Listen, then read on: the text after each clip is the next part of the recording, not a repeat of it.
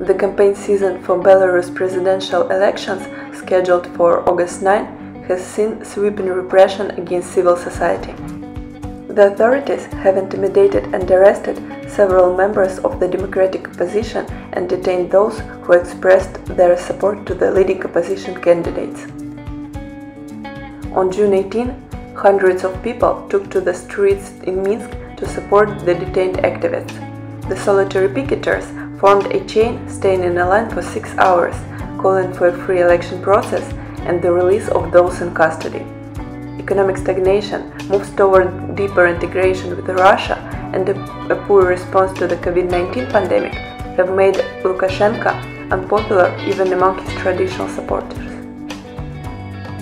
The authorities responded with even greater repression.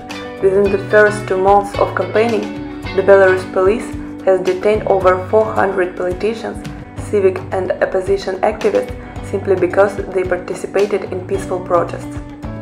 Events in Belarus in recent weeks have demonstrated that Belarusians want democratic changes.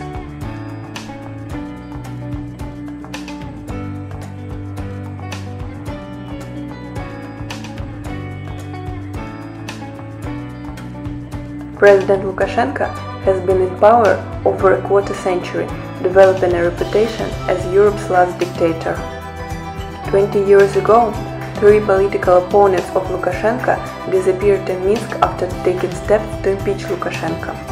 Reports by international organizations indicate that there is strong evidence implicating high-ranking officials in these disappearances. Authorities failed to investigate these crimes.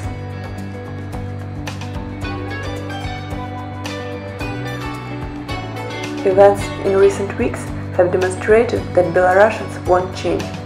However, the possibility for the Belarusian people to choose is hindered by repressions. But there is a way you can support Belarus by sharing this video, by making a donation to the Belarus civil society, and by protesting for the free elections in Belarus.